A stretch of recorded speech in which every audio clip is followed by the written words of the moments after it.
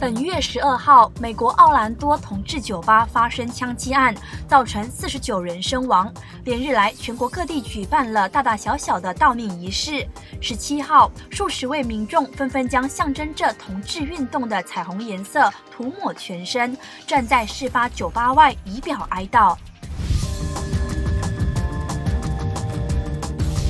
同样在美国，拿着鹿、山羊、猫头鹰等等的动物复制标本，一群爱护动物组织 PETA 的成员，十七号在美国华盛顿的步枪协会前示威抗议，要求解决枪支暴力，停止给予猎人枪械通行证。